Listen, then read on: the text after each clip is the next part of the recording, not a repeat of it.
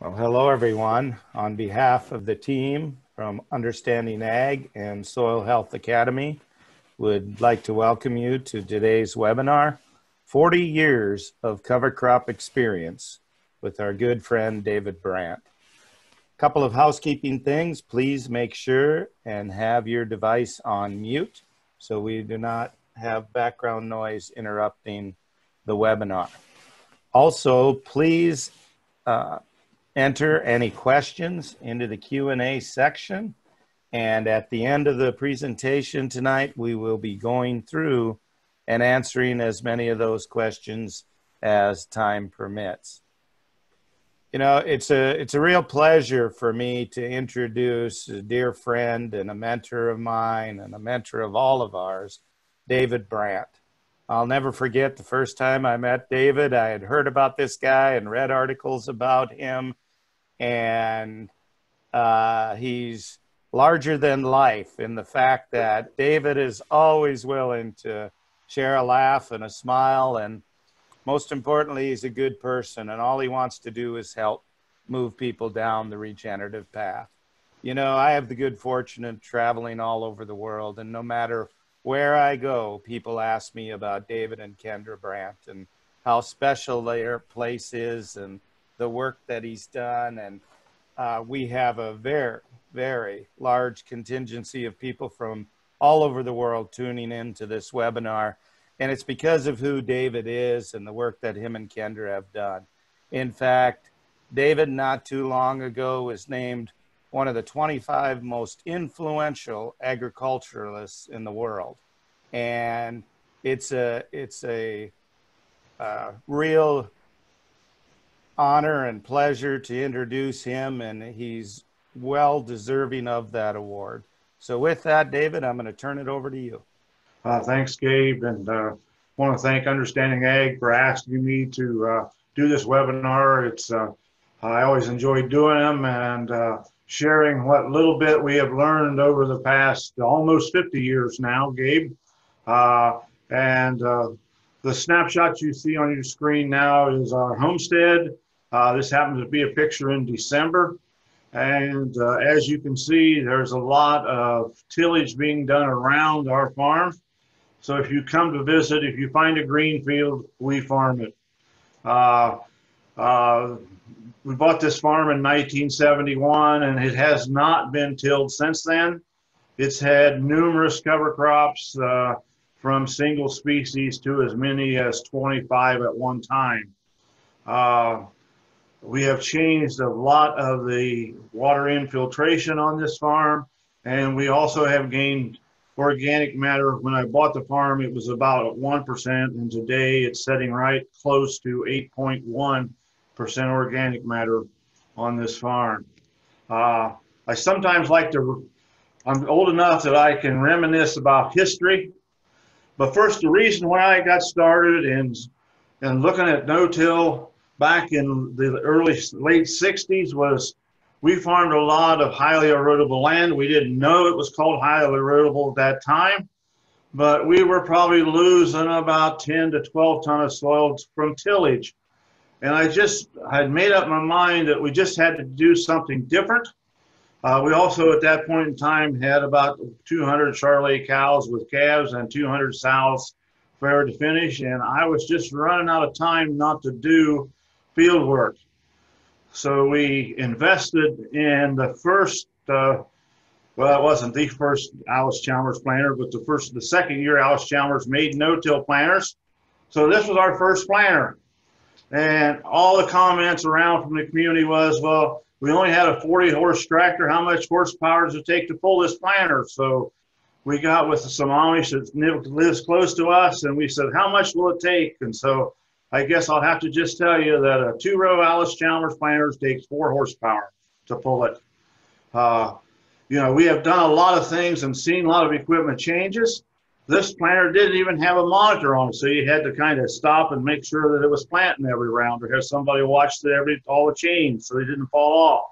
You know, we did a lot of pasture interseedings, and this is called a zip seeder. And uh, what it was, it was just a flat piece of metal on a shaft, and if it didn't cut very well, you just kept throwing cement blocks in the box till it did, you know. Uh, so these were the first planters and no-till drills that we worked with. Uh, back in the early 70s, I met Sam Moore from Northern Ireland, and him and I decided we would probably bring some drills over from Ireland. So this was his drill, and it did a superb job of planting clovers and alfalfas and and small grains. When we put soybeans in it, we ruined it. I never will forget, I call him up and I says, we got to change the metering system. And he says, what are you doing? And I said, we're planting beans. He said, I don't know what that is. And, and so I sent him a bag and he, he called me back up and he says, you bloody guys, you wanted to do everything. And I said, that's right. Even put me to bed at night if it would, you know. So uh, we learned a lot about planters. But the nice thing about it, as we mature through the years, over this 50 or 60 years that we've been working with no-till, equipment now that you buy will do no-till. We'll plant in cover crops. We'll plant different species at one time. It is so much easier today to go to no-till if you're a conventional farmer, just because the equipment is heavy enough, built good enough to do what we want to do time after time we tend to try to plant everything green. This is just another planter that I think works really well. This happens to be our home planter. It's an eight row 30 with uh, seven splitters in between, and we'll talk more about that as we go through. But we enjoy planting green. I think it's a lot easier. It's a lot easier to get the crop in the ground. So as we move on to that, we start, and I like to talk to farmers that from conventional farmers that come and ask me how I can get started.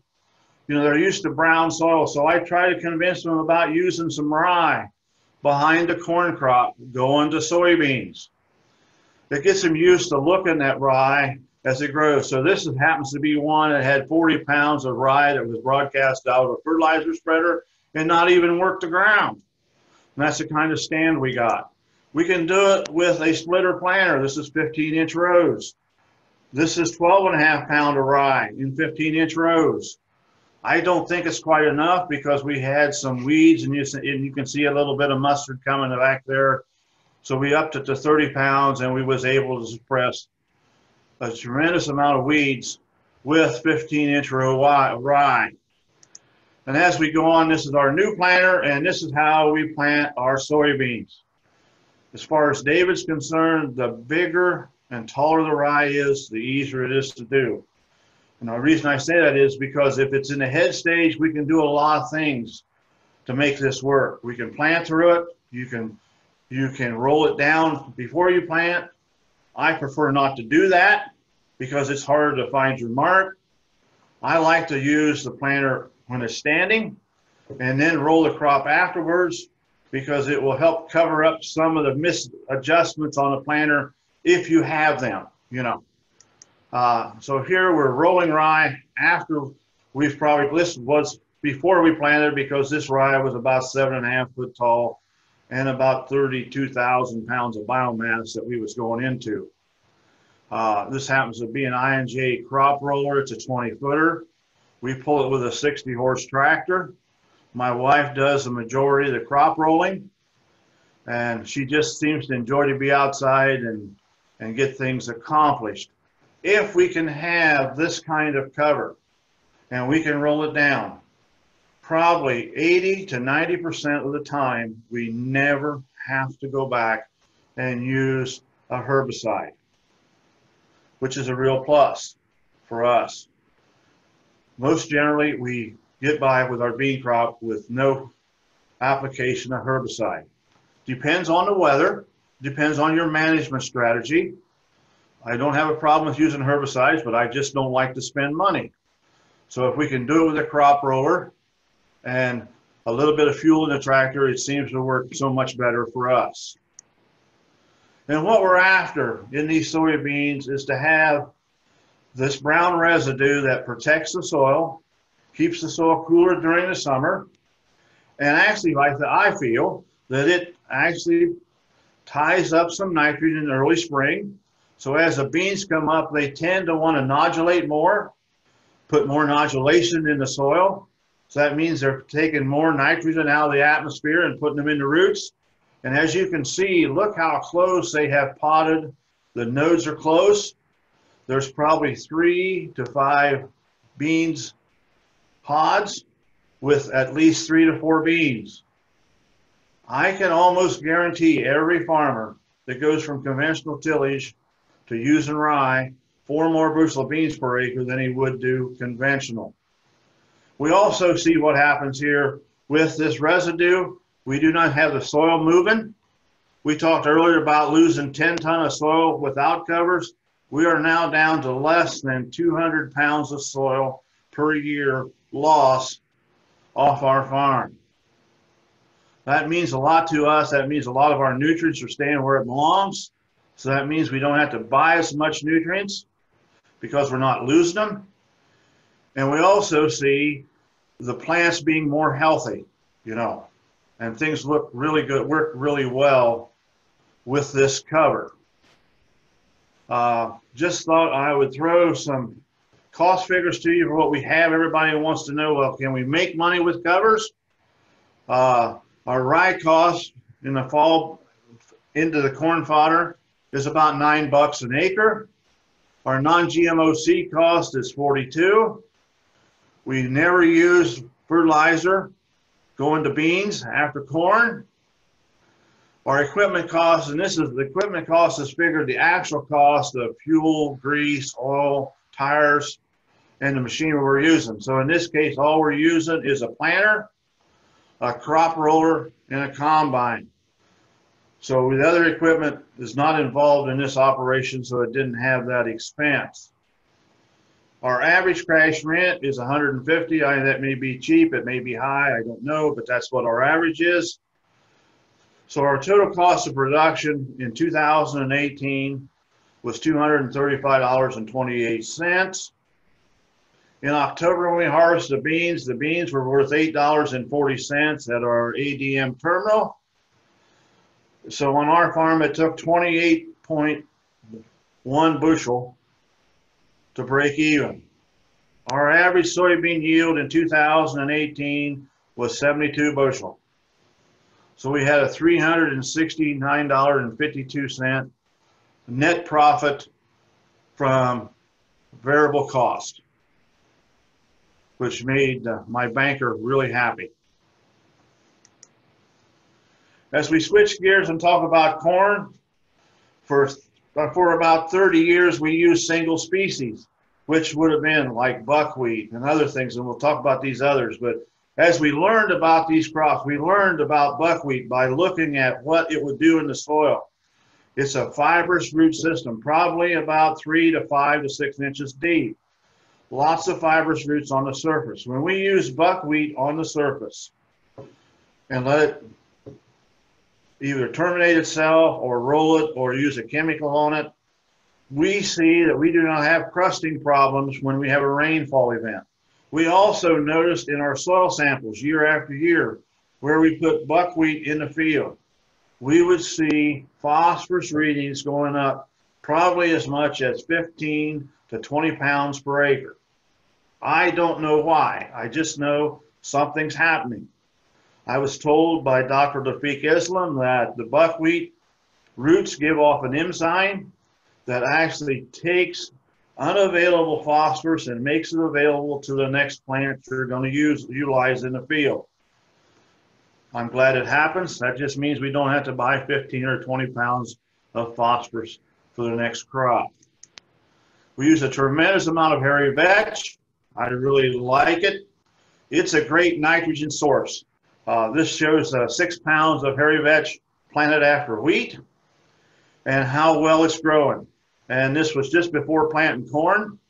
Uh, I must tell you that uh, if you're in there with a drill or a planter and you have loose chains or you have row cleaners, you want to pull them up or take them off because it will actually do a fair job of tangling up some of that stuff. So these are things we had to learn.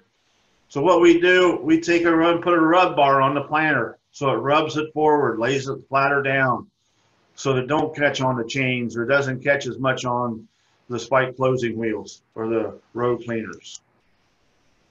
Winter peas are a real nice legume. And the reason I'm showing these is singles, singles, we did this for 30 years. I never understood till about 2002 when I met Gabe Brown that more than one species would grow in the field. You know, we don't have corn, soybeans, and wheat the same year growing in the field. We just have corn, or we have soybeans, or we have wheat, you know. But we'll talk about blends here a little bit later. So this is how we learned about what's going on. So this is 30 pounds of winter peas, and I want to show you some other things that happens with them. This is crimson clover.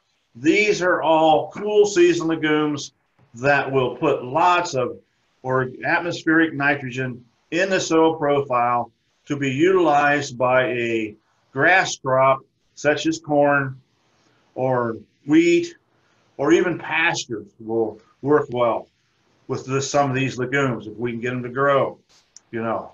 What I really like to talk about is the nodulation of the roots. And here you can see the nodulation from the winter pea. And these are what we're looking at because these will stay there. They're an organic form of nitrogen. They will not leave the soil. They will not wash away. And it's available to the plant as the root gets involved in there. So in, in the 80s, when I was working real diligently trying to figure out what cover crops would give me the most nitrogen, I went to the university, Ohio State. I also talked to Kentucky and also talked to Penn State. And I said, we have these legumes, and I mentioned all these to them in different areas. Can you tell me how much nitrogen I might be able to credit for these plants to a growing corn crop. Dear Mr. Brandt, the only way we can credit these accounts, account, uh, nitrogen accounts to you, is you need to bury the residue. I fired a letter back to all three universities saying we do not have the ability to bury it. So we did our own study. This was a five-year study that we put on our own farm where we had 10 acres of each one of these legumes with corn growing in it and we took the nitrogen rate from 200 units down to zero. And wherever the corn yielded the same, at whatever nitrogen rate it was at 200, I figured that's what these plants did for us. So if we're looking at this and we're talking about blending cover crops for corn utilization of nitrogen out of the atmosphere, we look at warm season legumes such as sun hemp and cowpea. We also put cool season legumes with that, which is winter pea, hairy vetch, and crimson clover are the ones I really like the most. And we can probably accumulate from the atmosphere into the root zone around the nodulation somewhere around 400 units of N. A lot of farmers say, well, that's law of nitrogen. I said, well, if it's only half of that, I'm still happy, you know. Uh, in 19 in 1996, I met Steve Groff, and he says, "Well, David," he says, "I have this tillage radish, and we'd like for you to do some work." So I worked with Steve, trying to figure out how to make tillage radishes work for him and for everyone else. So we came up with planting a, a row of radishes and a row of winter pea side by side. These are 15 inch rows, alternating back and forth. And we watched what happened. As we watched what happened, we saw the radishes getting larger in the soil. We saw the peas putting on more nodulation in the soil. And when you do these kind of things, you have to be in the field with your shovel and dig and understand. You know, uh, it's fun to do this, I think. You know, it's fun to figure out how to lower your input cost if you can. Uh, and I've never had anybody tell me why the radishes grow out of the ground like these do. And I'm going to tell you it's from Dave Brandt University. I think the radish has to get big enough in the tuber to push the taproot through the hard pan. Because the hard pan in this field was about seven inches deep. The tubers come out of the ground seven inches, and then the taproot went through the hard pan after it broke through the hard pan, the tuber got big underneath there again. So I'm saying that tuber or that radish has to have enough weight to get that root mass through there. One nice thing about having radishes in a row with a planter that puts one seed every four and a half inches apart, that means we use three quarters of a pound of radishes per acre. And that's pretty cheap at $1.85 a pound for radishes. We also sow 15 pound of winter peas. So we end up somewhere with about to 14 to 15 dollars an acre with a cover crop cost per seasonally planted. The neat thing was that here you can see the tuber. It hit a hard place and then it broke through the hard pan and went down and this root actually went 47 inches deep in the soil. Uh, it also, you can notice the, the soil profile at the top. As these radishes grow and they're in a row, they tend to become my strip till machine because they lift the soil about an inch and a half or two inches, which is great. You can come right back in in the spring with the planter and plant corn right on that radish row. Uh, I know the first year that I done this, we had about 60 acres of it and it was March the 2nd. It was, the ground was thawing out and man, all of a sudden, two o'clock in the morning, there was fire departments and gas companies and deputy sheriffs and state patrols on the farm honking and raising cane, and got me out of bed. And they said, you got a natural gas leak, Mr. Brandt. And I said, no. I said, that's the radish, you know. So we had to teach them how these things do. And I thought, boy, this first year, if they smell that bad, will anything grow? But man, did the corn ever grow, you know. Here's what we like to see. 18 to 20 inch tuber, then the taproot going on. The neat thing about this is we're only about 16 or 17 miles from Ohio's capital, which is Columbus. There's a lot of foreign people there and they love daikon oilseed radishes. And when we have them like this, we can sell them for two and a half bucks a piece if they dig them, you know. So it's another way to help pay for the cover crop. Again, we want to talk about nitrogen fixation, why we want to do it, you know, and this is just another picture that I think I'd like to remind you that why are we buying nitrogen for corn and for wheat if you're in a rotation where you can grow a cover crop ahead of a grass crop and capture from 45 to 160 pounds of nitrogen sequestered in the soil for the next crop. You know, if nitrogen is 30 cents a pound, that's a pretty good return on a 15 or a $20 an acre cover crop cost. We got Ohio State University really interested in it, and Dr. Lafitte was was really a, a good professor for me to work with, and so he sent interns down, and they did a five-year study evaluating the soils from where we had peas and radishes. And every time for five years, when we planted a different field, we'd call them and they would send these interns down and they would dig soil and take it back to the lab. And so this was the average nutrients they found in our soils above the soil sample readings. So they would find 250 pounds of nitrogen, 23 pounds of phosphorus, 230 pounds of potash, 60 pounds of sulfur, 150 pound of calcium. That 150 pound of calcium equals about 11 or 1200 pounds of spread lime a year. On our home farm, when we bought it in 71, we spread two ton of lime. We have not spread any lime since 1971. And our pH is seven. And I, I say it's because the cover crops are bringing up enough calcium to keep everything balanced. So in this case, David does not need to buy any nutrients to grow corn. Another thing they did a lot of work with was did it actually, did the radish actually loosen the soil? So on the graph on the left, you will see the dark colored zeros or dots. That is where the radishes is. The light colored dots are a conventional field, same soil type, just across the road. So if we're looking at one to two inches, they really loosened the soil. They only did any, any effort to push the meter in the ground. If we look at 22 inches deep where the radishes taproots was it took about 200 or 160 pounds of pressure where the radishes were. Where in conventional tillage, it took almost 260 pounds of pressure to push a probe in the ground. Yes, the cover crops will loosen the soil. Yes, the cover crops will help with water infiltration.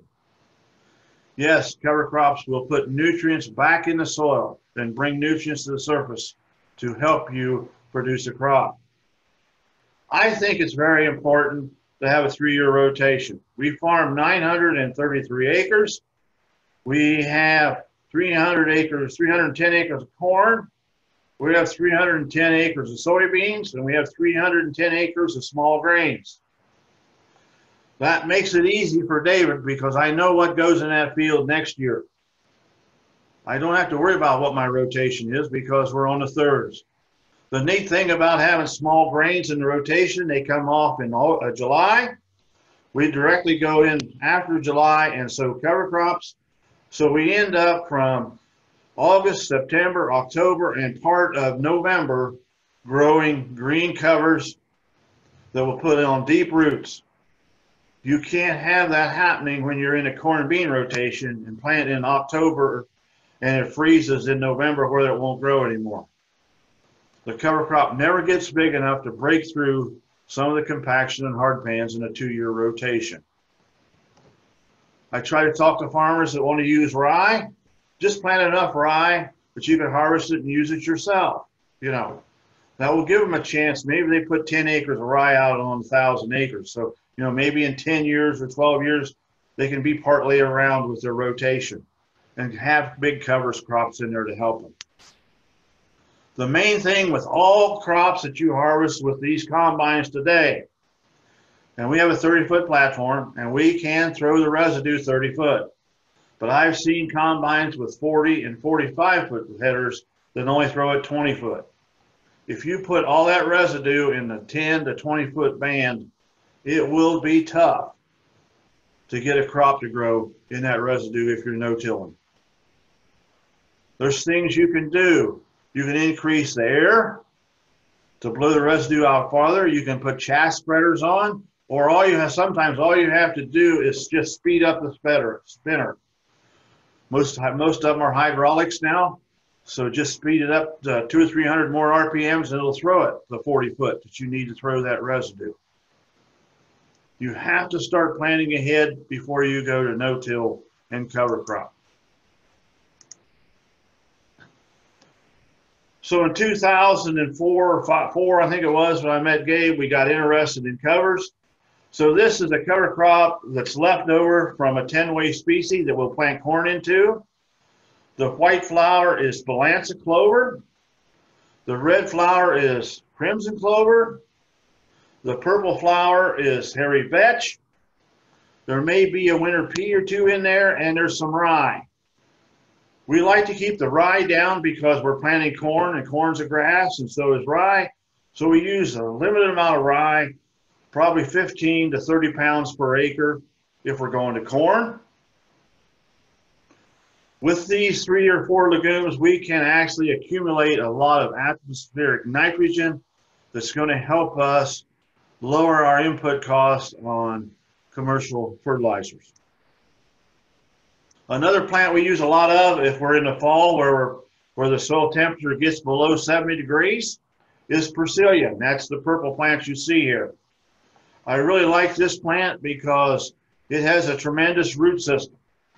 It will go 30 to 40 inches deep from September till December. Uh, with rye, it really works well if you're going to go to soybeans.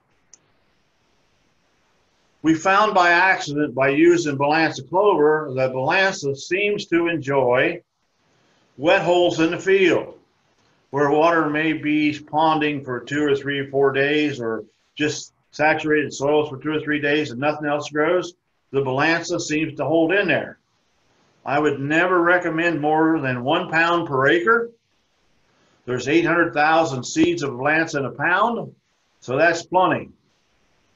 And if you notice, if you use Balansa, if you go up on where the soils are drier, you won't see much Balansa clover. That's where the hairy vetch and the winter peas and the crimson and the rye will grow.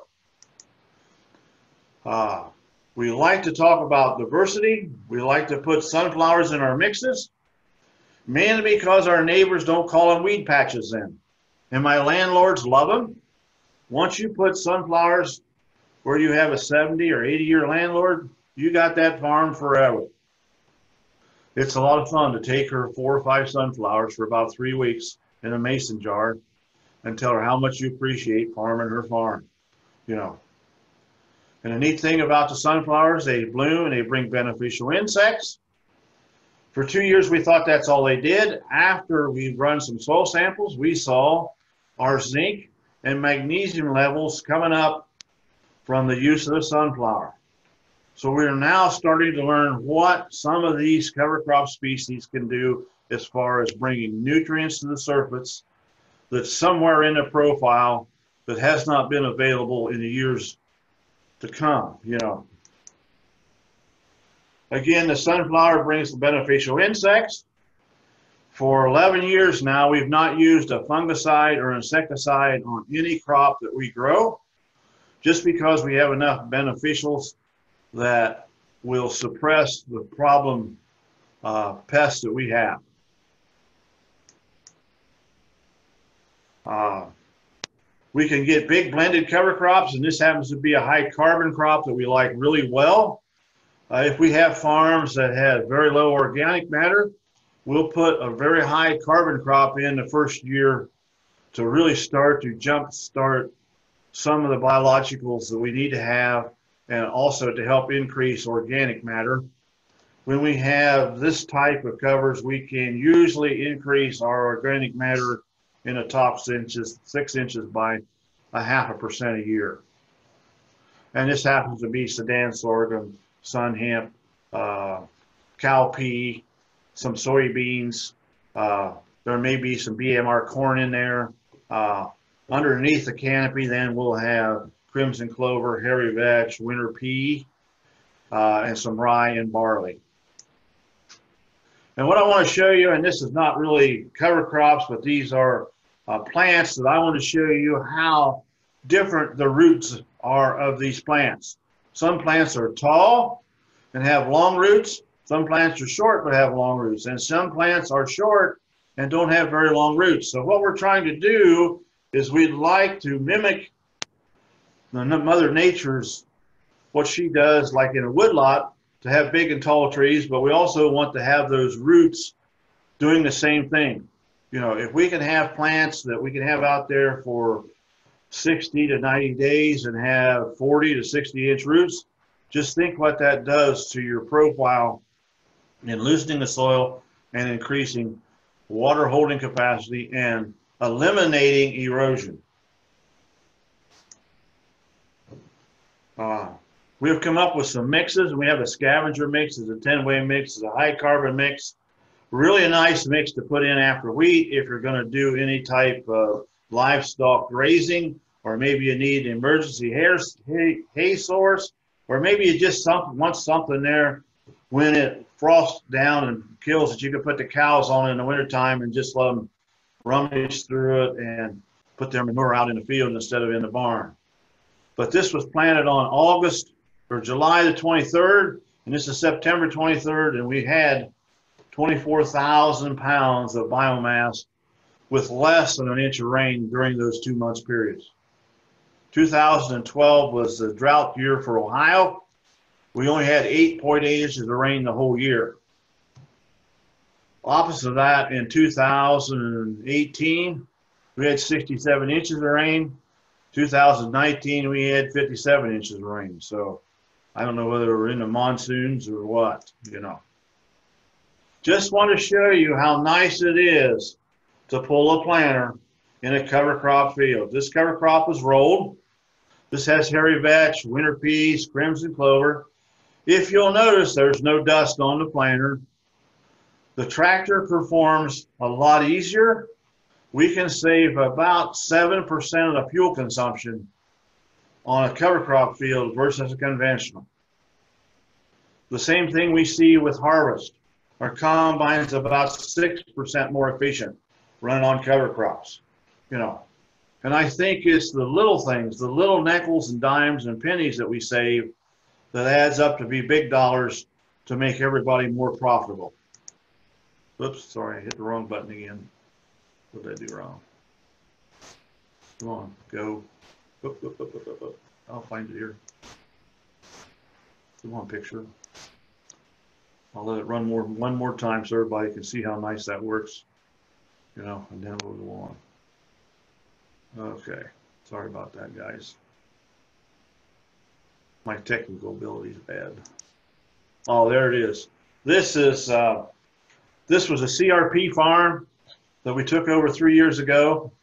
It was a CRP for 10 years. We had permission three months before the CRP contract to go in and terminate what was there with a herbicide program. We come back with a 12 way species and we ended up with 42,000 pounds of green biomass we planted into. And here you can see just where the planter ran through and planted the corn.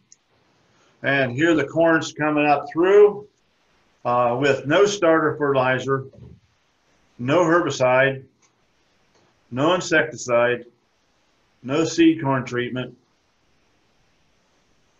and it's growing pretty well. And there was the results of what we had. You know, and I'm quite proud of that uh, because I know our NRCS office said that no one ever had success growing corn in CRP without tilling. So we took 10 years of CRP that they had very little soil loss from and continue not to have soil loss by growing row crops on it. So our corn production uh, in 2018, I thought you might be interested in. And uh, 18 was a year that we had not very much cover crop because of the rain and it was cold. So in the in the summer after wheat, we had $25 in the cost of the cover crop.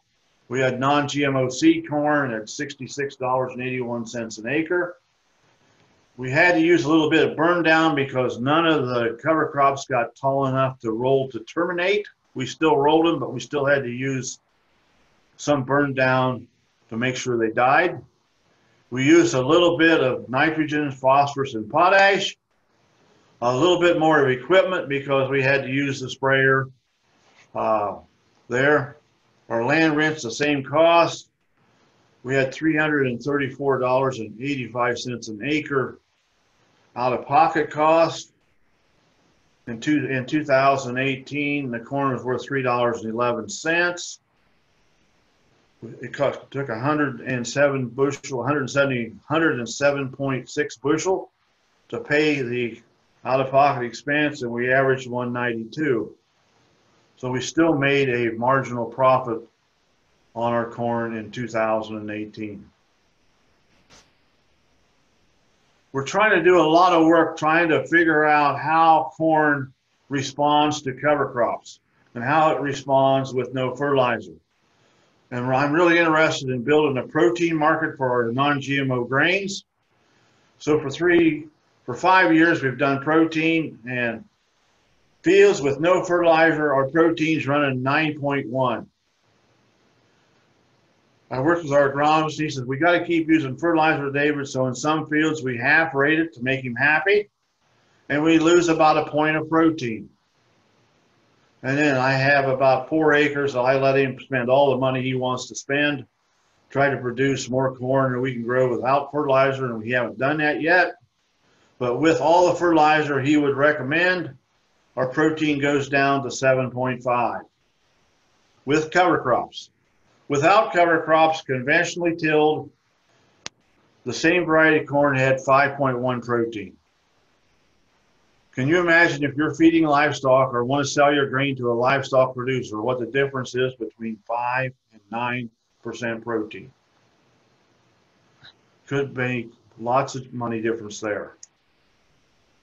Another thing we found out was with our cover crops during the summertime, our soils are about 20 degrees cooler. And by that, we mean by having cooler soils, we have the microbial activity at the highest rates we can have because that soil never gets hardly above 85 degrees. At 97 degrees, most biological activities slows down or ceases, you know. So the field on the right is 91 or 97 there. Uh, it's pretty well just they're waiting for it to cool off or rain on it, you know. Where on the left side of the picture with the residue, uh, we, we're cooler and the corn's coming up and looking pretty good, you know. I also think, and I, no one's ever told me, but I think every time we have a rainfall event with that amount of cover on the picture on the left, we uh, have some type of compost tea because I think the rain goes through the residue, takes the nutrients out of the residue, and deposits it on the soil surface because the plants always green up and grow faster after a rainfall event. A lot of questions have been asked to me. Well, how can I get it done? I'm busy harvesting. I don't have time to get cover crops in the fall. How can I do this, David? Can we aerial seed? Can we do all this? Can we do that? Yes, you can. Farmers are innovators. This is a guy in Indiana that I work with, and he decided he just put a Gandy seeder and he sows three pounds of annual ryegrass. And he said I could make about four hoppers full of corn. And he's an old fellow, and he said by that time I have to get out and walk around so I can put some more annual ryegrass in the seeder. And they blow that underneath the header, you know. I worked with another farmer that bought a Kraus or a Lexion combine. So guess what? We put a seeder on there that lasts all day.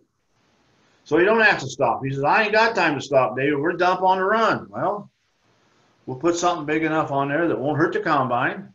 And he and you can see that the tubes go underneath and he blows everything underneath the header. When he's done combining, his cover crops are seeded. You know. Other ways to get cover crop in. There's a lot of work being done on knee-high corn or shorter to going in and interseeding cover crops. Here we have to be concerned with your herbicide program, understand what you're using. So a lot of fellows are are lowering the rates of herbicides or using herbicides that have very very short residual life. And then probably in three or four or five weeks after planting, you can go in and interseed multiple species. Hopefully they grow enough that some of the species would collect atmospheric nitrogen and benefit the corn. Uh, this happens to be our high boy seeder. Uh, this is quite a unique tool. We took a high uh, sprayer. It's an old Walker sprayer. We took the tank off of it. We put a Montag air system box on and we can blow cover crops in 36 rows of corn or soybeans, uh, clear through uh, 12 foot tall corn. And works fairly well, you know. The biggest disadvantage is if you're doing custom work and you happen to hit a tile hole in the field, it kind of makes a U-turn and, and you wonder if you got enough clothes on to take care of the problem, you know. But um, here's what our interseeders look like when we're done. You can harvest a crop, and here comes the rye for soybeans next year. You know, this is like 35 pound of rye blown on when the corn was just tossing.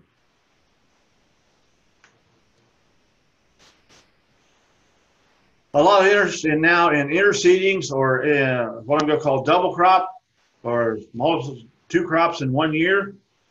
You can take, you know, if you have engineering ability or if you want to spend a lot of time, just drop off two row units off your drills and off your run. You can grow wheat, you can plant soybeans in between the rows. You can harvest the wheat and have double and have better than double crop beans there, or you could use covers here, you know. And here's a fellow I worked with that had a 20 inch planter. So we planted 20 inch wheat. The wheat made 47 bushels the acre. He went right in this spring and planted the soybeans. You can see them growing there, and they made 52. So he, he had two crops in one year just some ideas about how you could stretch out some things that you may want to do and collect more sunlight to help. How do we know how much nutrients we get from our covers?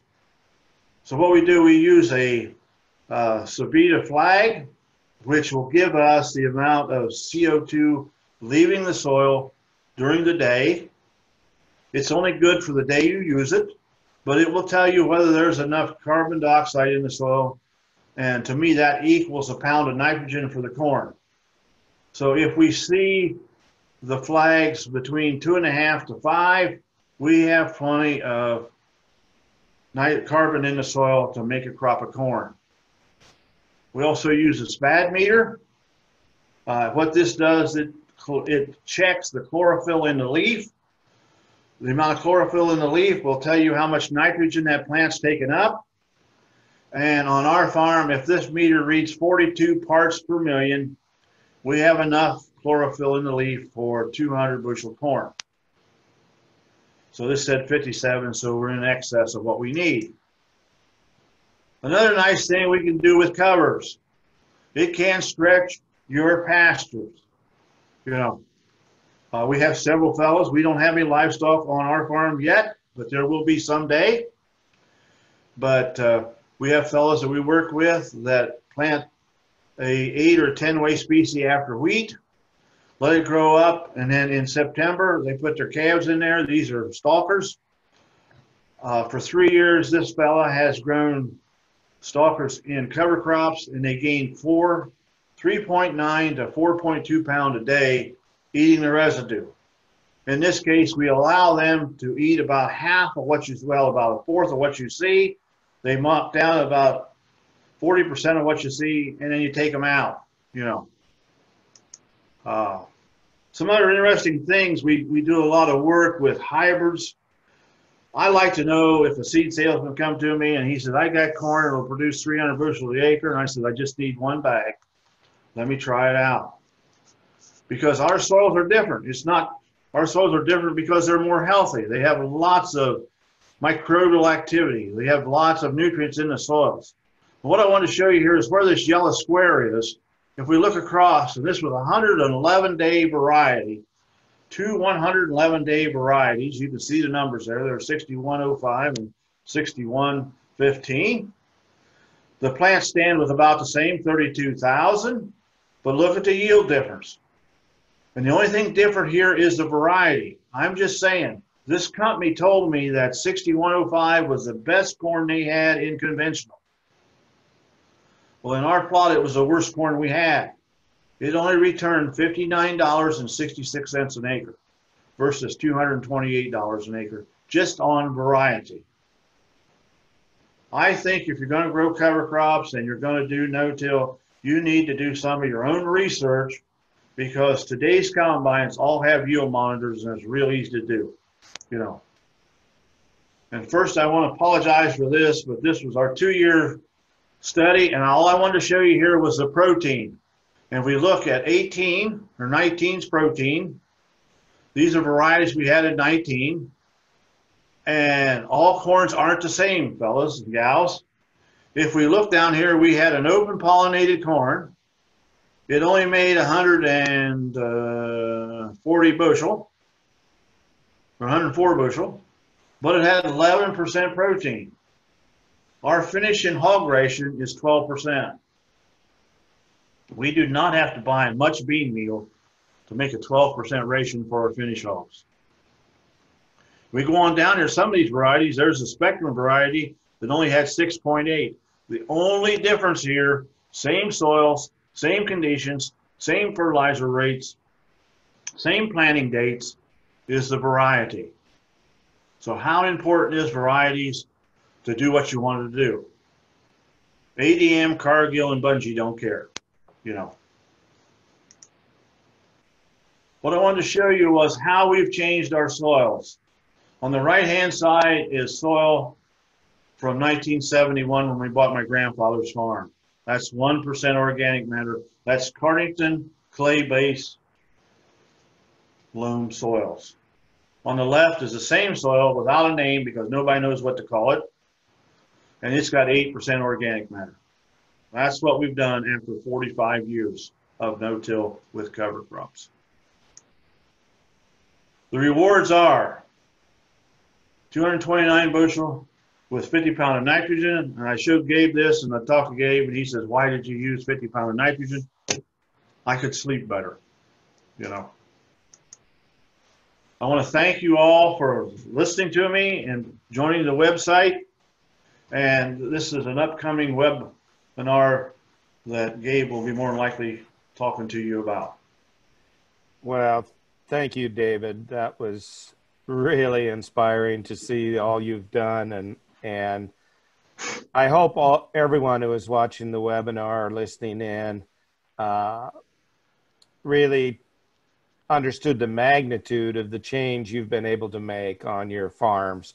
Having been there a number of times and and dug down and looked at your neighbor's soils and seen the difference just four or five feet away on, on your farm, uh, I can't uh, tell people enough the difference.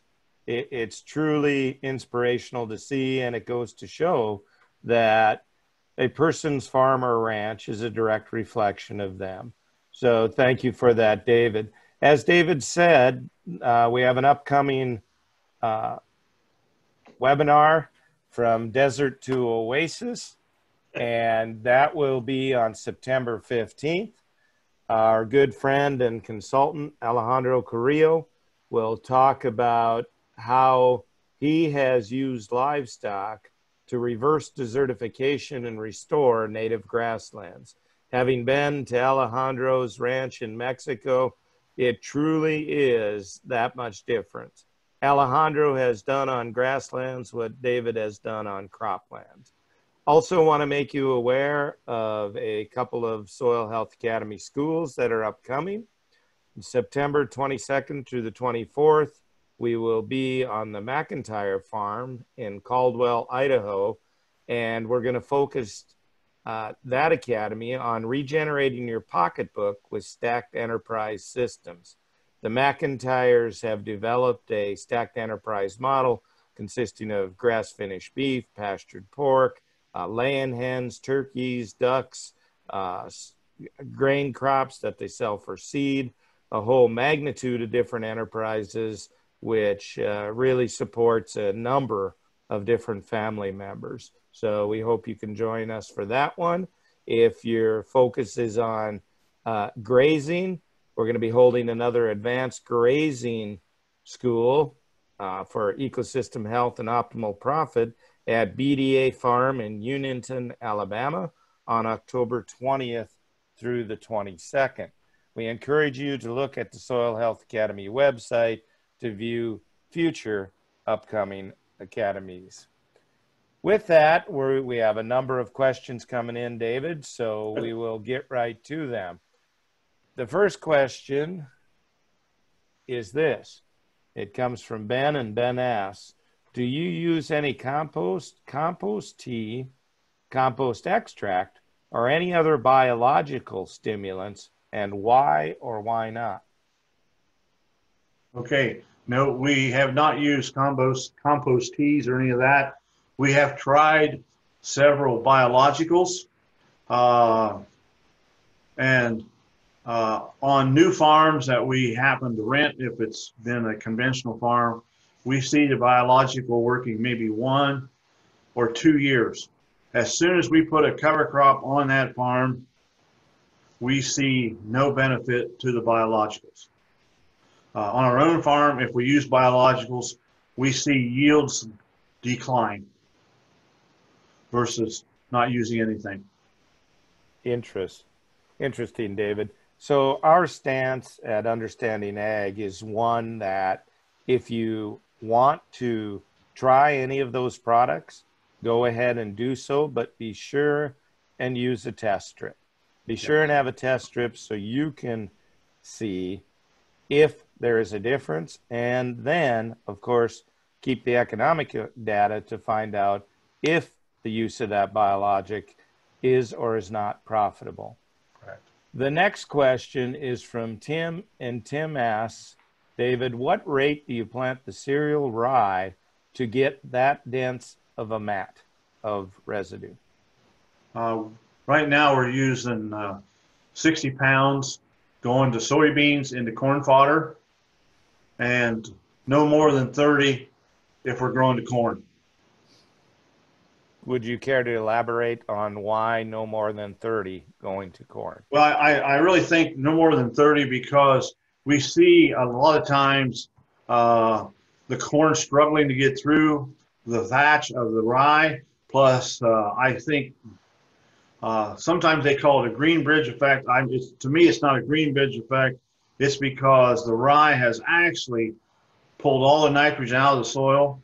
And if you don't add additional N with the rye, it suffers as a seedling because it comes up yellow and it takes probably three to four weeks for it to capture enough nitrogen in the soil to turn it back green.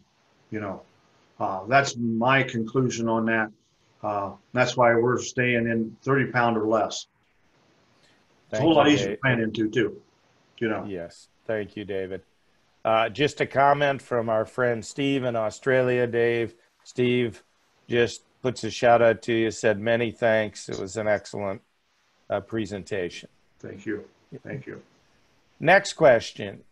Do you store your seeds to keep out rodents and bugs? How do you store your seeds to keep out rod- rodents and bugs such as weevils? Well, we we store uh, we store on a farm here somewhere around 35,000 bushel of corn and about 10,000 bushel of beans.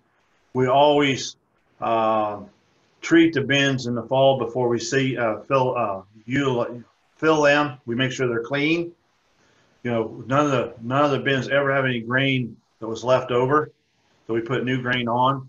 We also use a product called diatomaceous earth which is a white powder that I guess ruins the guts of the weevil if they eat it. And that seems to be how we are successful, you know, with that. Thank you. Next question. How well do the cover crops do with suppressing Palmer amaranth, Johnson grass, and other weeds without spraying? Um, we probably the best way to answer that is we can suppress uh, 40 to 60 percent of Johnson grass in Palmer, but we still have to use some herbicide, not a lot. Uh, if we get our rates up higher than we've talked about, and we know we have those in that field, we'll go as high as 120 pound with rye or we'll be at a 12 or 14 weight species, which would be like 40 pounds of cover crop. Uh, the thicker you have the biomass and shut the sunlight off, the better you can control those weeds that need that sunlight to sprout and grow. Okay, thank you, David. Uh, I'm going to ask David Kleinschmidt if he has anything to add to that using cover crops yeah, for this weed control.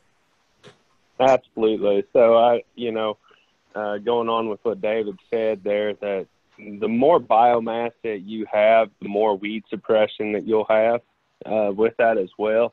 Um, and it actually becomes really important if you're wanting to use your cover crop to suppress more weeds to actually lay them down and get them on the soil surface instead of just uh, planting into them and letting them stand upright um, you know, you you armor that soil so much more and protect that um, soil from hitting having any sunlight to getting those those other species to germinate. You know, probably some of the the weaker species that I I have an issue with sometimes is you know foxtail and and soybeans and some of them late season grasses, but as far as pigweed uh, concerns or any of the larger seeded broadleaves, you know, that almost becomes non-existent with uh, cereal rye. Hey, Gabe, this is Ray. Yes, Ray. I'd like to add to that. Um, uh, reaffirming what those guys have said, uh, the two Davids, Arkansas, uh, when I was the soil health specialist in Arkansas, we saved farms because of cereal rye farms were no longer being rent. Uh, nobody would want to rent some of the farms in Arkansas because Roundup resistant pigweed. But it was cereal rye that was able to salvage some of those farms, and now they are being rented again. But if it wasn't for cereal rye, we would have not been able to save some of those farms. I, you know, I, I agree with Ray on that because I think rye, you know, cereal rye will suppress broadleaves really well. The problem we have is the, the, gra- the Johnson grass. It's really tough to suppress. Uh, you know, we can take everything out but the Johnson grass, and we can suppress it but it does come back. You know, we've never been able to totally eradicate Johnson grass with a cover crop yet. Thank you. Thank you, David. Uh, one thing I think we should clarify here, David Kleinschmidt, would you please explain the difference between cereal rye and annual ryegrass? Yeah, absolutely. So, you know, we need to think that cereal rye is like wheat. You know, it's it's got a, it produces a seed head like wheat. Um, you're looking at um, if you're looking at seeds per pound, um, species that's got somewhere around about uh, 18,000 seeds per pound compared to an annual rye grass, which is it's more like a brome or a fescue type grass seed that can have up to 180,000 seeds per pound. So the um, cereal rye will be a grass species or a, a cereal that you'll be able to actually use a roller crimper to crimp down um, to terminate, whereas annual rye it has a much thinner stem to it, and you can't crimp it to terminate it.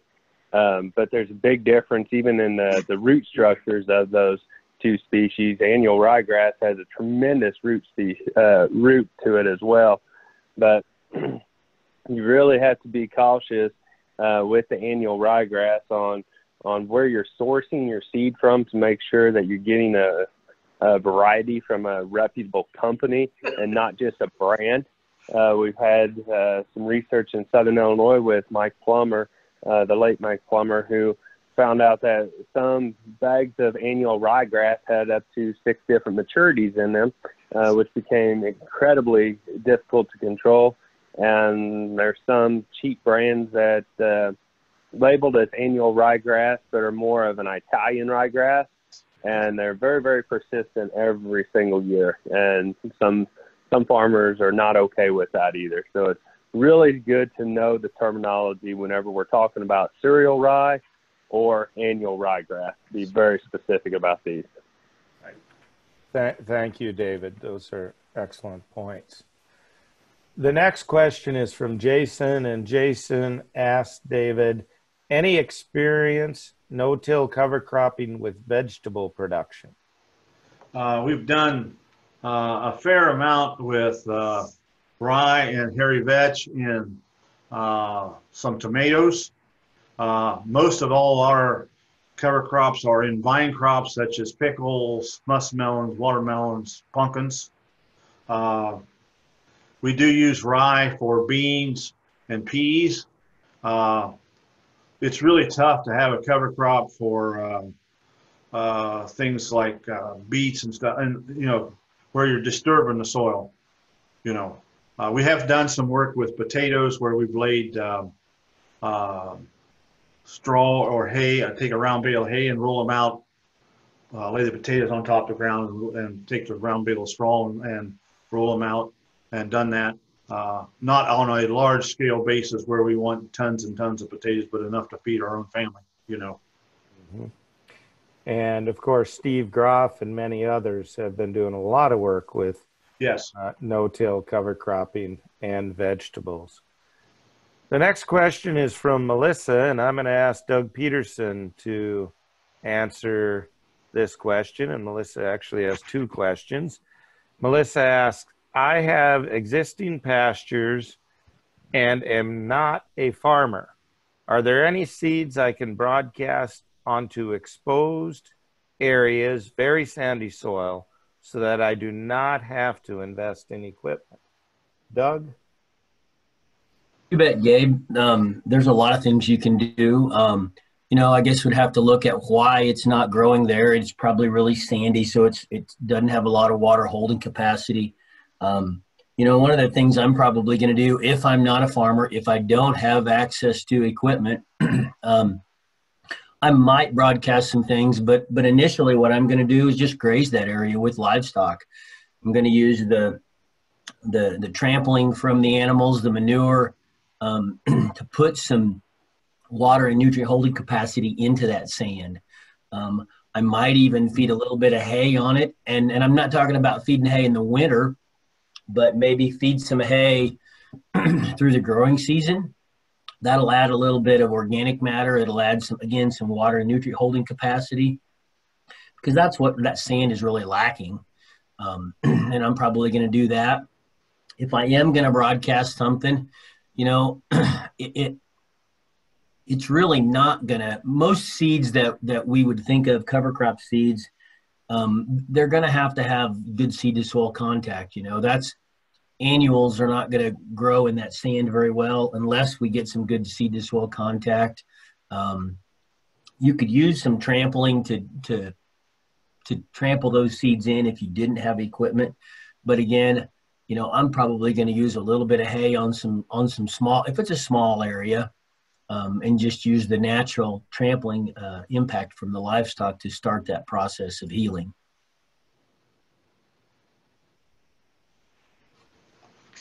Would would teff grass work in that situation, where they could just throw it out there and grow?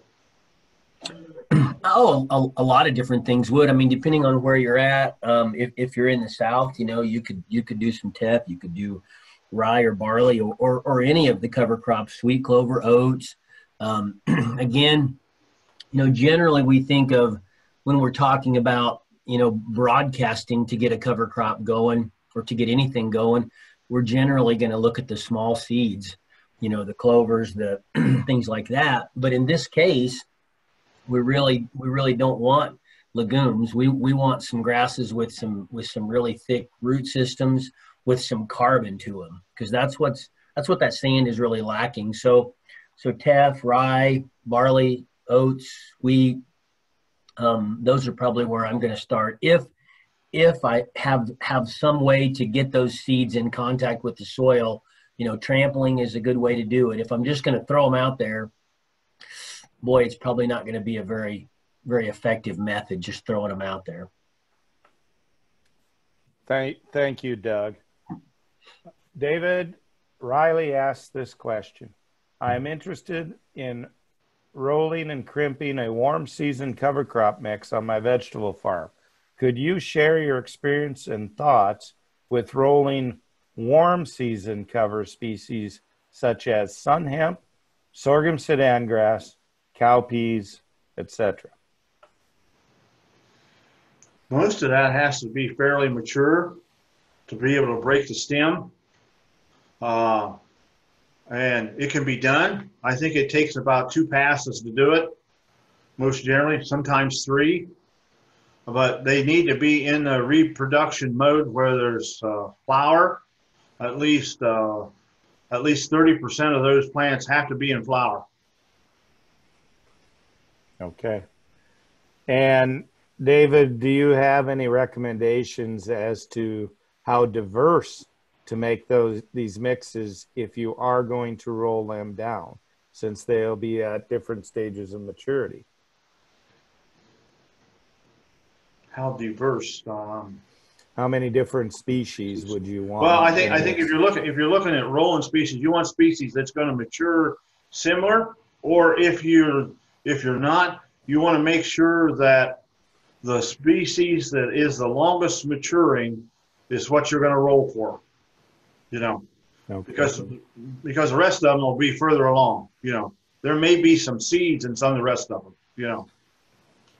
David Kleinschmidt, would you have anything else to add to that? I'd agree with with what they said on there. Um, thing is depending on the vegetable crop. When you're, you know, if you're using maybe a warm season to help build up some carbon levels in your soil profile and use it as kind of a biological primer year, um, and then plant a vegetable crop into it the following year. Uh, if you're wanting something to overwinter, you really have to watch out on the allelopathy on some of the um, sorghums species and sudan grasses to some of the small cereals.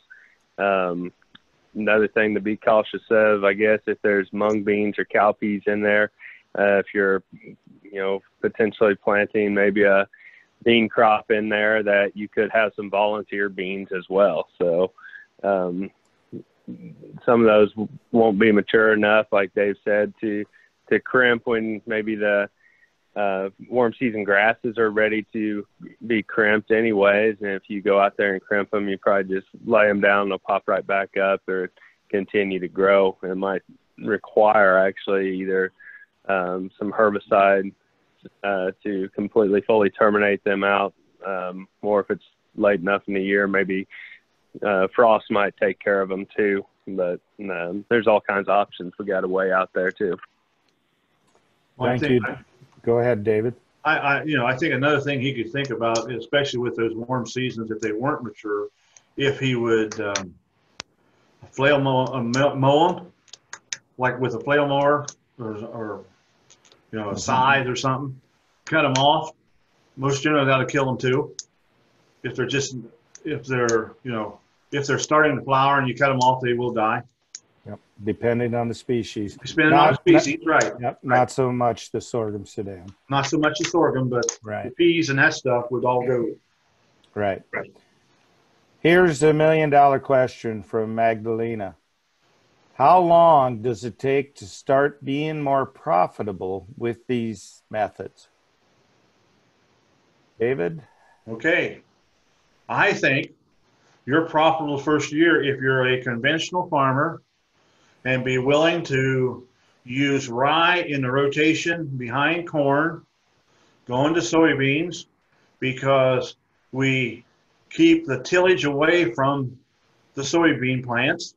You're not going to do any fall or spring tillage, so that's going to save you somewhere between 25 to 35 bucks an acre. We're going to suppress some weeds, so it may save you one herbicide pass. It could save you both, depending on how thick you plant the rye. And we're going to see a three to five bushel increase in the yield of beans. So with that all said, I think there's a possibility to save uh, between 35 to 50 bucks an acre the first year right out of the box. Okay, thank you, David.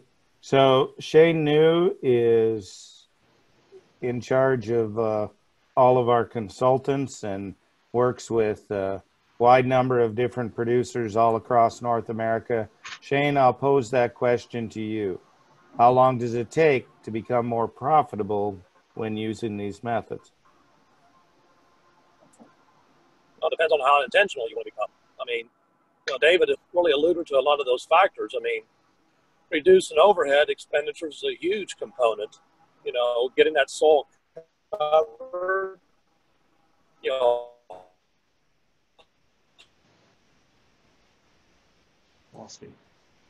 Oh, we, we lost David. Excuse me, we lost Shane. But uh, I will just uh, say that with our clients, typically, moisture, you Yeah. know, and David remarks, you know, seeing, you know, yields, is, you know, from going oh, Now, Ca- Kathy, Shane's having some difficulty. Would you please mute that? Um, he's traveling. But I would just say with our clients, we're typically able to increase profitability the very first year.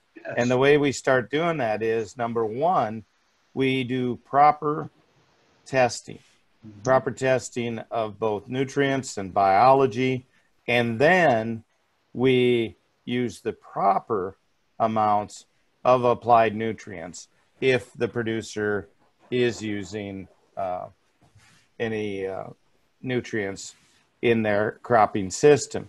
In grazing systems, it's it's also a matter of uh, adaptability, of uh, moving the livestock, giving adequate rest, uh, not overgrazing. So, with these methods of going down using the six principles, focusing on the four ecosystem processes, we're able to increase profitability pretty much from year one.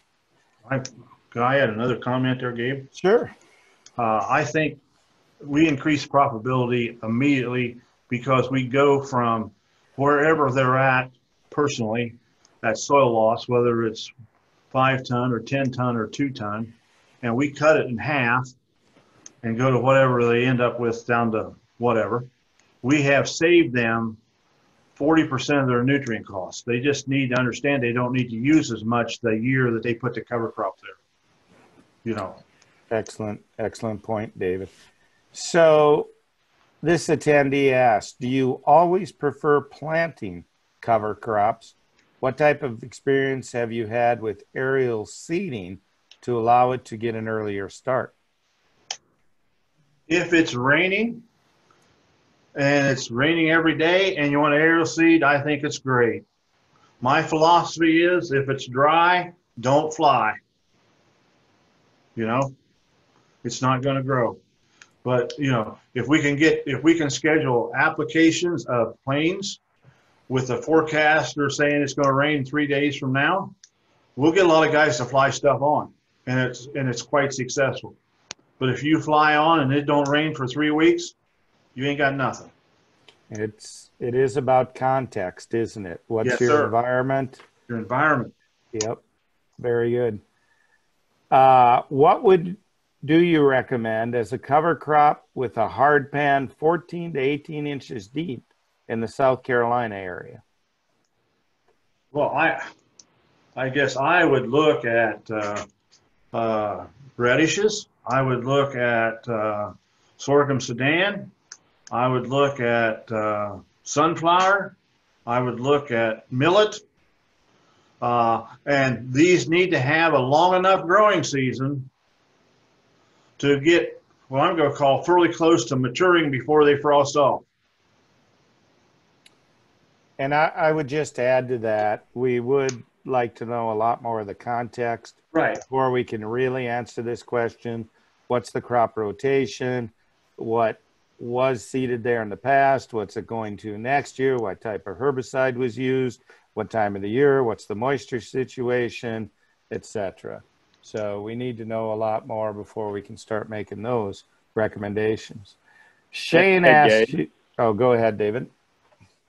Uh, if I may, you know, uh, Dr. Lloyd Murdock in Kentucky's been doing research with you know, ryegrass on um, on the fragipan soils down here in southern Illinois and in Kentucky, and we're actually showing that we can dissolve that fragipan you know, almost a half an inch a year and gaining us about a half inch of of topsoil just by using that cover crop. Thank you, David. That's good to know. So Shane asks David Brandt, the research that you have been doing with the Ohio State University, is this available? And if so, where can they get access to this? Uh, you can uh, email me and I will send you that information, or you can uh, email uh, Dr. Rafiq Islam at osu uh, org. Okay, thank you. David, your friend Simon in South Africa just wants to say thank you so much for openly sharing your decades of experience. You are a true pioneer. Thank you. Okay. Tim asked this Having planted covers for all these years, have you settled on an optimal cropping sequence slash cover crop mix? And what is the seeding rate? The answer is no. Uh, the reason I say that is that uh, for a number of years we've been using an eight or a 10 way species. And so we have several farms that's had that 10 way or eight way species on uh, four times. So that would have been 12 years of, of cover crops in corn and soybeans and wheat.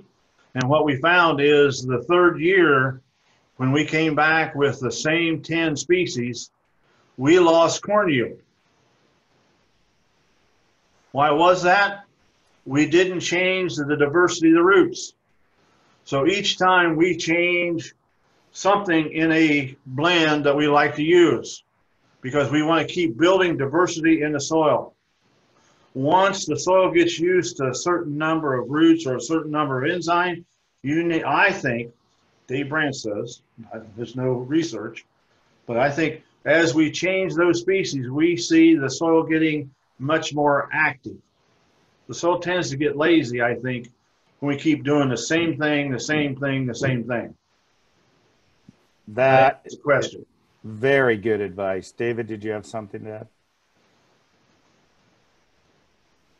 That's very good advice. Uh, uh, we we cannot keep doing the same thing over and over and over and expect different results. Increase increasing yields. It's not going to happen. So here's a really interesting question for you, Mr. Brandt. What are you working on next? Well, what am I working on next? David always has wild ideas. So this year, well, last year we tried, and this year we got serious. After we took 300 acres of small grains off and put cover crops in, we have planted sunflowers in rows with a corn planter, and then went back with the drill and undersowed either an eight or a 10 way species.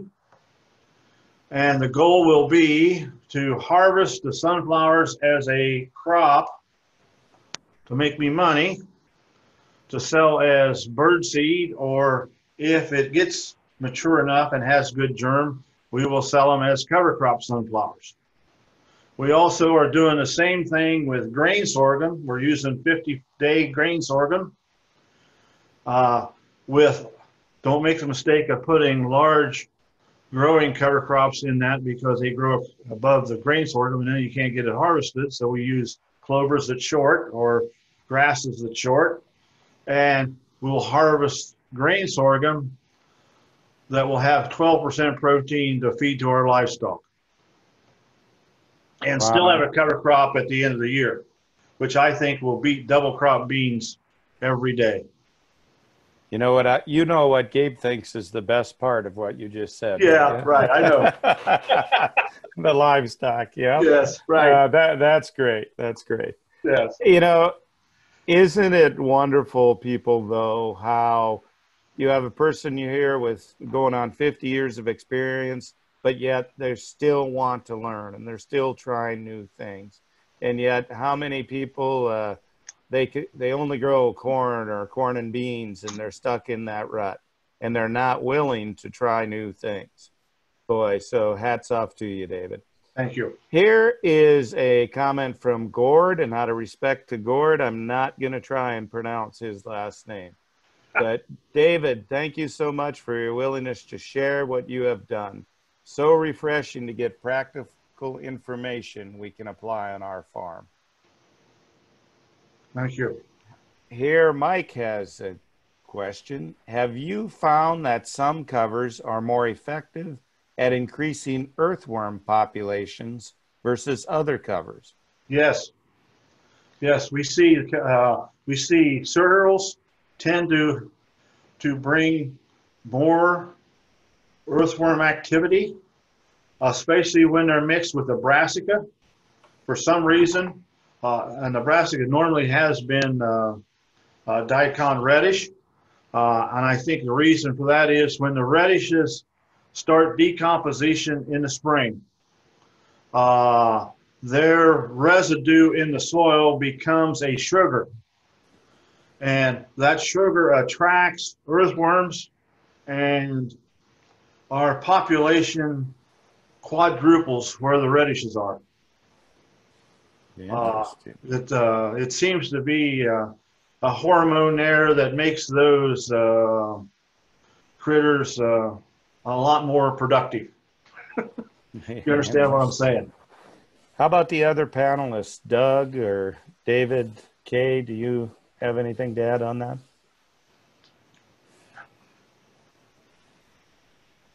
I'd agree with that on the cereals and the brassicas, the uh, Sudan grass and the, the millets. They they do a tremendous amount, uh, a good job of bringing up earthworms. Same with uh, with sunflowers, but I mainly see those when those species are have decayed the following spring, and you'll just a tremendous amount of earthworms in around those root systems. Thank you, David. And Gabe, one thing we haven't talked about is uh, the mycorrhiza fungi or mycorrhiza that's in the soils. And you know there are plants that is a great mycorrhiza host, such as flax and and oats. You know those are the two most And that's why we try to have flax and oats in about all of our blends at some amount uh, so that we can actually start building more mycorrhiza fungi in the soil that will help the plants talk to the plants to make more crop. Very good. That's very good advice, David. Okay, Ben asks Is it necessary to clean seed that you reuse from the previous year? And if so, what small seed cleaner would you recommend for a small producer? I think, personally, I think it's very important to clean your seed. I think it's very important that you do that to get the, if you happen to have any problem weeds that do bloom, like, you know, you'll find a lot of spring annuals that have seeds when you're harvesting small grains, such as onions and or leeks or uh, garlic and and uh, all those uh, winter annuals that will mature early. Uh, I think it cleans it up. It makes it a whole lot easier to run through a drill. You know, uh, if you get a bunch of uh, heads or scab heads in a in a drill, it'll plug it.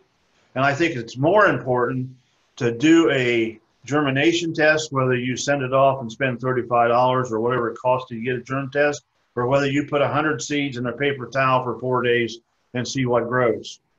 You know. Okay. Does anyone have any recommendations on a type of cleaner? Uh, of course, Clipper's been in the business for years. There's small ones, there's large ones. Uh, you know, uh, there's a couple out uh, that are using air, and you you drop the grain into the top of them, and the air separates the bad from the good. Uh, they're inexpensive, but they're not hundred percent a good cleaner. If you get what I mean, you know. Okay. Thank you. Next question. I've had troubles with vole populations growing in cereal rye, then eating holes in the bean field the next year. It's bad enough you could see the voles, the holes on satellite. Do you have ideas to control voles? Uh, yes. I love coyotes. They do a good job. Uh, wild, you know, cats out of the cat out of the pond, get a, get a bunch of cats, that'll work. Or we've used a lot of cayenne pepper mixed with the seed, and that seems to help them. It won't kill them, but it'll deter them from eating the seed. David K. or Doug, would you care to add anything to that? Well, that's another advantage of rolling down a cover crop too is uh, that with that cover crop flat on the ground, now the voles have to be up on top of that cover crop to to scurry around, and this makes them wide open to any type of predators, especially birds. Um, it seems like it's been, you know, for the last 30, 40 years, let's tear out every fence row in in the county. Uh, livestock have left the farm, and that's taken away a lot of habitat for a lot a lot of our predator birds, including screech owls, which can eat a tremendous amount of voles in a night. So, you know, even putting up some screech owl houses around fields can help. But um, you know, probably the biggest thing I've seen is, is helping with the rolling and crimping it. Uh, I will just add to that that McIntyre Farms, who will be hosting our academy in September, they were having vole problems and they did put up uh, owl boxes around their fields and tremendous success with it. And it's a combination. The rolling, uh, as David said, is is number one, but don't forget about all the predators. So, David, Aaron has a very good question. With commodity prices being a little lower, do you plan on changing your rotation in any way? I plan on changing my vocation. Rotation. Oh, rotate, rotate. rotation. Crop rotation. Not, no, not really. No. Because, uh, you know, it's just so much easier for me to understand that this field goes to beans or this field goes to rye or small grains. Um, and, um, you know, as we get, as we get wheat, small grain production up, uh, uh, really high yields, you know, uh, we can make as much money with small grains as we can with corn and beans. Well, and I would just add to that, uh, look at the profitability and the break even that David has. Even at $3 corn, he is very profitable. And that's why at Understanding Ag, we, we say we will take profit over yield any day. We got to quit chasing yield in pounds and we have to start focusing on ecosystem function and the profitability that comes about as a result of it. Okay. So Shane has a question regarding heavy clay soils on pasture grazing dairy systems in New Zealand. Very wet in winter, very dry in summer. If we plant a sorghum, radish, millet cover mix to break the soil, do we graze this over summer or just allow it to grow to maturity and graze in late autumn, then regrass? Doug Peterson, would you care to tackle that one? You bet. Um, you know, really, honestly, you could do it either way.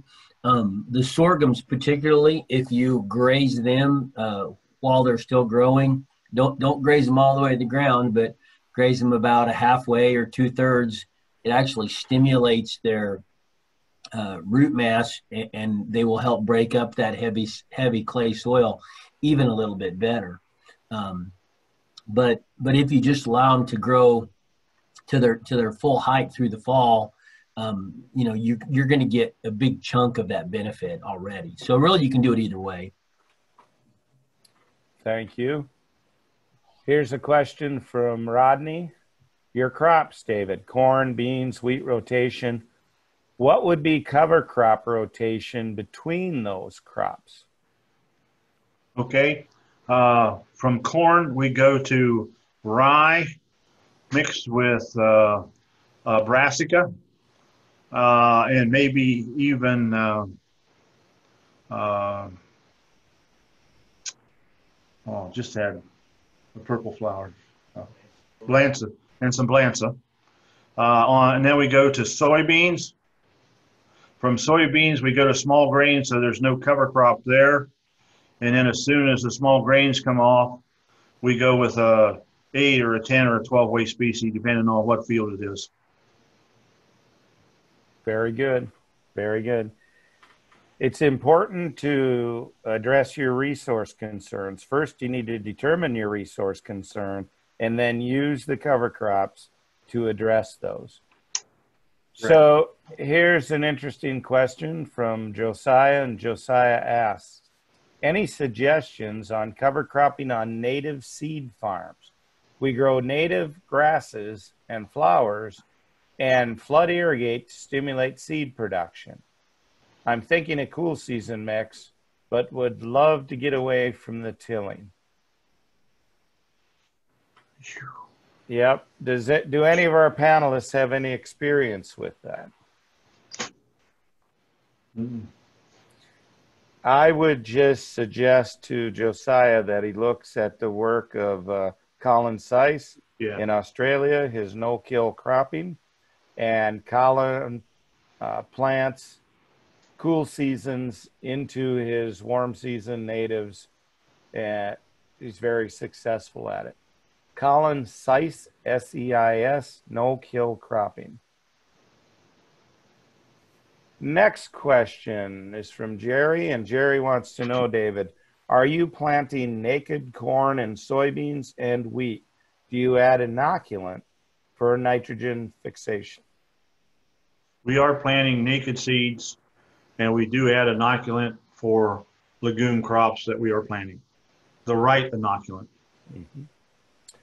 And that's important to realize that these species of legumes take, many of them take a different inoculum.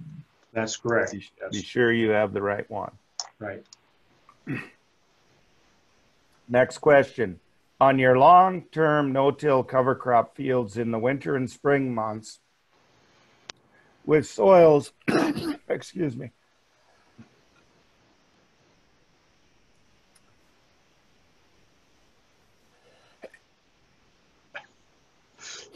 Excuse me, David, could you read that one, please? Yeah, I'll, I'll, I'll get you, Dave. On your long-term no-till cover crop fields in the winter and spring months with soils, when soils are saturated, do you continue to see far less water runoff from those fields? And in those same fields, do they tend not to freeze down very far? That's correct. Right. We do see that. because the reason is, is because we have so much biological activity uh, in the soils. We we have uh, you know the nematodes and the protozoas and all those other big words. Uh, I was told by uh, a Missouri State University professor that we had accumulated enough micro herd to equal four cows and four calves. So that would be, you know, 4,000, 5,000 pounds of warmth that we have over the winter that keeps our soils from freezing as hard as it does where they don't have it. Wow, And- go ahead, Doug. And, and the ground cover over the top just acts like the insul, insulation. Insulation, right. Right. We, we've had clovers and, and vetches stay green all winter, even though it was uh, 18 or 20 degrees soil temp, you know. I, I would just like to add to that, uh, you're actually able to extend your growing season as your soil health and, and the ecosystem functions Right. advance. Yes. You're able to grow things longer after frost, like you said, David, and then you're able to start growing things earlier in the spring. So, last question here for the evening is from Mike, and Mike asks We have had disease pressure in our grain crops, and I contribute that to our covers. Is that a correct observation, or are we just luckier than our conventional neighbors? Well, I, I guess I'd have to know a little more history on that because if it's a single species cover, I would say yes, that could happen. You know, because you don't have the diversity of those other plants that bring other fungi and uh, beneficial things to help keep those diseases down. And and we are seeing that. And David Kleinschmidt or Doug, please, please weigh in. But we're seeing less disease pressure if cover crops are used in a grain crop rotation. David or Doug, would you have anything to add to that? Yeah, absolutely. And so, looking at that question, the thing that that uh, Mike had said was he is seeing less disease pressure than his conventional neighbors. And I'm actually very familiar with old Emmy down there in Southern Illinois, and um, yeah, he it, it, he's using very diverse mixes, and and plus he's delaying his planting later. Um, it could be coupled with you know cooler weather during pollination, different things as well, but by protecting that soil like he is, he's not getting that soil splash up on those leaves as, as much, and he's just protecting that that crop more with uh, probably a higher um, rate of photosynthesis throughout the growing season as well, with the amount of CO2 that's even coming up off of that biomass that that crop is taking up. So that's just making that plant so much more healthier, more more resistant to the diseases. And plus, I mean, when you're using less less fertilizers, less synthetics, you're bound to have less disease pressure, uh, or you're you're able to have less disease pressures too when you're not having so much nitrate and ammonium uh, concentration in that leaf tissue.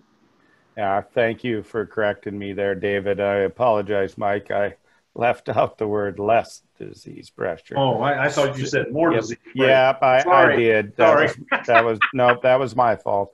Uh, David, we have one more question if you have time, and this Yep. will be our final question. Josh asks, I've been planting oats from time to time uh, for my cereal in the three year rotation after beans located in southern Michigan. Is there a suggested cover before? And that's all he says is before. It was just, uh, it was just a screwy knot. You could fly on radishes.